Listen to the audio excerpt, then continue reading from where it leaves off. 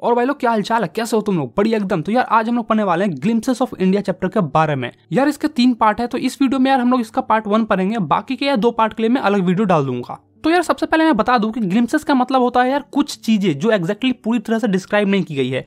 मतलब कि यार कुछ धुंधली चीज़ें मैं बोल सकता हूँ कि धुंधली यादें हैं इंडिया की ये। या फिर तुम कह सकते हो कि कुछ कुछ बातें बताई गई है इंडिया की, पूरी तरह से इंडिया को डिस्क्राइब नहीं किया गया है। मतलब कि कुछ ऐसा जो पूरी तरह से एक्सप्लेन न किया गया हो। कुछ कुछ यादें, कुछ कुछ धुंधली यादें, ठीक है?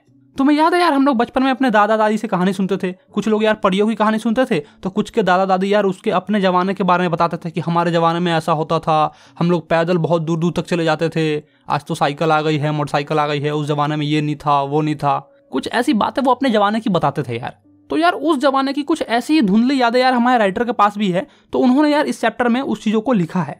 ग्लिम्सेस ऑफ़ इंडिया का सबसे पहला पार्ट जो है यार, वो है ए बेकर फ्रॉम गोवा जिसे लिखने वाले शख्स का नाम है लूसियो रॉड्रिक्स और ये जो राइटर है यार हमारे, इनकी यार कुछ धुंधली यादें हैं बेकर को लेके जब यार पोर्चुगीज राज करते थे गोवा में। यार बहुत समय पहले ना यार पोर्चुगीज का राज था गोवा पे, ठीक है? उन्होंने यार लगभग साढ़े चार सौ साल, यानी कि 450 ईयर्स राज किए। लेकिन जाने से पहले उन्होंने कुछ अपनी छवि छोड़ दी। जैसे कि यार ब्रिटिश लोगों ने यार 200 साल राज किया और अपनी छवि छोड़ के चले गए। ये आज ही उन्हीं की देने के हम लोग इंग्लिश पढ़ रहे हैं और इंग्लिश वर्ड बोलते हैं, ज़्यादातर इंग्लिश के पीछे भागते हैं। वैसे ही यार जब पोर्चुगीज राज करते थे गोवा में तो उस समय यार ब्रेड बहुत ज़्यादा फ़ेमस था, ठीक है? तो वही राइटर साहब बता रहे हैं कि जब उस जमाने में ब्रेड फ़ेमस था, वो चीज़ यार आज भी एग्जिस्ट करती है।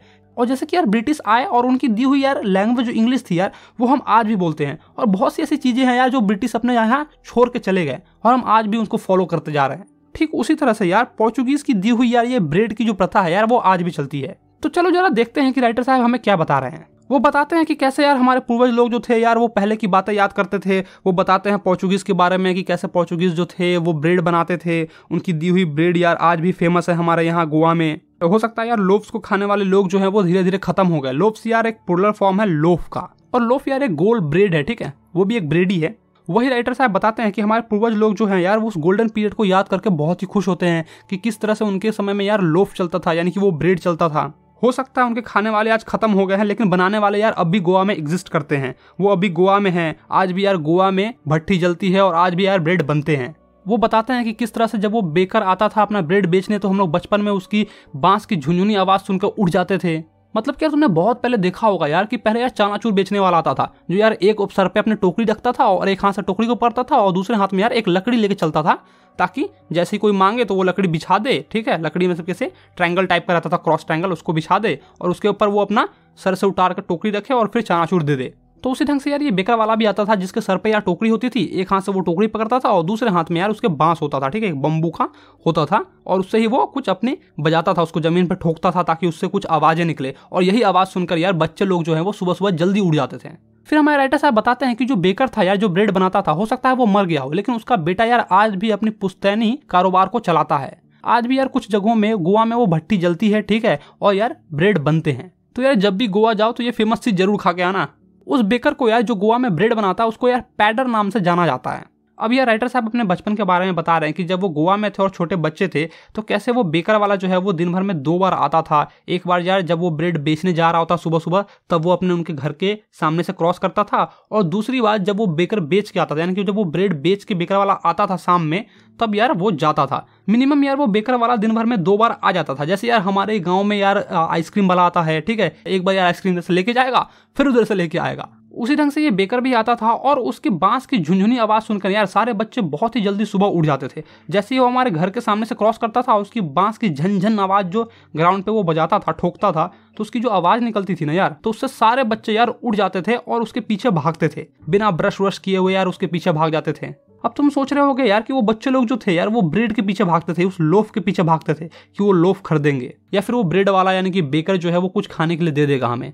नहीं यार, ऐसा बिल्कुल भी नहीं था। लोफ जो था यार, वो तो पास्किन और बेस्टिन के रूप में घर में यार नौकर चाकर ले आते थे। बच्चे यार इसलिए भागते थे क्योंकि यार उनको ब्रेड बेंजल्स बहुत ज़्यादा पसंद थे यार। वो बहुत ही मीठे होते थे और बहुत ही गोल गोल ढंग से बनाए होते थे। ठीक है, गोल था, एकदम पट्टी टाइप बनाई होती थी। उसके पीछे यार वो लोग भागते थे। वो बहुत ही मीठा होता था और स्पेशल तरीके से बनाया जाता था, इसलिए यार वो लोग उसके पीछे भागते थे। फिर यार बेकर अपने हाथ में रखे बाँस से यार वो झनझन आवाज़ निकालता था और धीरे धीरे आगे बढ़ता था और घर की मालकिन को यार शुभ प्रभात करता था, नमस्कार करता था, प्रणाम करता था। और एक हाथ से वो बाँस वाला जो अपना ट्रायंगल टाइप का रहता था भाई, उसको लगाता था। ऊपर से यार एक हाथ से सर से टोकरी उतारता था और उस पर रखता था। और सारे बच्चे यार इधर उधर झांकने लगते थे। तो वो बेकर जो है यार, उनको डांट फकाड़ के भगा देता था कि, भाग यहाँ से, क्यों करने आ गए? तुम लोग जाओ, तुम लोग बच्चे लोग जाओ यहाँ से। लेकिन यार बच्चे जिद्दी होते हैं तो वो लोग यार कुछ जुगाड़ उगाड़ लगा के, कोई यार दीवार पर छड़प जाता था तो कुछ यार बेंच लगा के उसके ऊपर से टोकरी में झांकते थे कि क्या है क्या है, कितना है। और ऐसा यार बचपन में तुम लोगों ने भी किया होगा कि मतलब यार कोई भी चीज़ बेचने वाला आता था तो भीड़ लग जाती थी एकदम से ही। सारे बच्चे आ जाते थे और भीड़ लग के एकजुट हो जाते थे। फिर राइटर साहब बताते हैं कि आज भी उनको उन लोब्स की यार खुशबू बहुत ही अच्छे से याद है। कैसे वो स्मेल करती थी वो आज भी उनको याद है। बड़ों के लिए यार वो लोफ होता था, लेकिन बच्चों के लिए यार वो बैंगल्स होते थे ब्रेड बैंगल्स होते थे, जो बच्चों को बहुत ही ज़्यादा प्यारे थे। बच्चे यार बिना मुँह हाथ धोए, बिना ब्रश किए हुए, खाने के लिए उतावले हो जाते थे। वो लोग सोचते थे कि मुँह धोने का कष्ट कौन उठाएगा, कौन जाएगा और आम के पेड़ से वो आम की डंडी तोड़ेगा और फिर उससे दतुमन करेगा। ब्रश करना मतलब यार दतुमन करना, ठीक है? हमारे गाँव देहात में भाषाएँ बोलता दतुमन करना। आम के पल्लों को तोड़ो, उसमें से डंडी निकालो और उससे ब्रश करो। पहले ऐसे ही होता था। अब तो यार आ गए ब्रश आ गया, कोलगेट आ गया, पहले दतमन होता था भाई। तो वो लोग सोचते हैं कि कौन जाएगा और आम के पल्लू तोड़ के उससे दतमन करेगा, उससे ब्रश करेगा। शेर का भी मुँह धोता है क्या खाने से पहले? हम भी नहीं धोएँगे। उनका भाई अलग ही सुराग चल रहा था। वो लोग ये भी सोचते थे कि कोई चाय पीने से पहले ब्रश करता है क्या? हॉट टी पीता है, सब चीज़ या कचरा उचरा जो भी होगा, गर्म चीज़, वो निकल जाएगा, सब वॉश हो जाएगा। अब यार राइटर साहब उस ब्रेड के महत्व के बारे में बता रहे हैं कि कैसे यार वो जो ब्रेड था यार, वो बहुत ही इंपॉर्टेंट था उस जमाने में। यार कोई भी शादी के गिफ्ट में अगर यार वो ब्रेड नहीं गया, जिसका नाम यार बॉल था तो बहुत ही अधूरा लगता था ऐसा था जैसे कुछ दिया ही नहीं गिफ्ट में।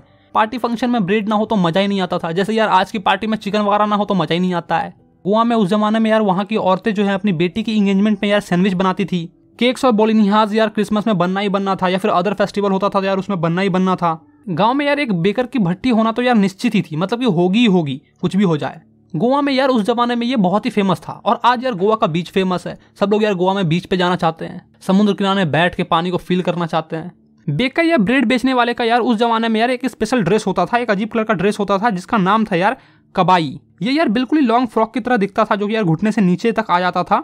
और यार राइटर साहब के बचपन में जब ये बेकर वाला आता था तो यार वो एक शर्ट पहना होता था ऊपर में और नीचे में ट्राउज़र पहन के आता था। और आज कोई उस ढंग का ऐसा ड्रेस पहन ले तो यार सब लोग उसको चिढ़ाने लगते हैं। तो तो यार बेकर वाले की तरह दिखता है वो बेकर वाला जो आता था हमारे गाँव में यार उसकी तरह दिखता है। बिल्कुल ही पैडर की तरह दिखता तो, तो। क्योंकि यार बेकर को गोवा में पैडर के नाम से जाना जाता था। मैंने तुम्हें शुरू शुरू में ही बताया है। तो मतलब यार उस ढंग के कोई कपड़े आज पहन ले तो सब उसका मज़ाक उड़ाने लगते हैं कि तो, तो यार बिल्कुल वैसा ही दिखता है यार। जैसे यार हम लोग भी किसी किसी का मज़ाक उड़ाते हैं बहुत ही वर्ड यूज़ करते हैं कि बनचुनर लग रहा है बकचुनर लग रहा है। चुहार लग रहा है, कुछ कुछ मतलब ऐसे वर्ड्स होते हैं यार। हर गाँव में यार तुम्हें कुछ ऐसा अजीब वर्ड मिल जाएगा जिससे यार लोग चिढ़ाते हैं। हो सकता है यार गोवा में आज भी पैटर के नाम से लोग चिढ़ाते हूँ।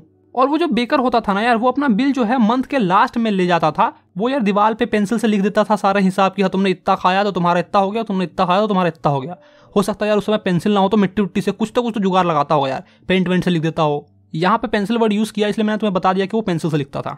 मतलब कि यार, उस जमाने में बेकर लोग का बहुत ही अच्छा खासा धंधा चल जाता था। ब्रेड बनाना यार एक प्रॉफिटेबल बिज़नेस था। उनके बाल बच्चे यार कभी भी भूखे नहीं सोते थे।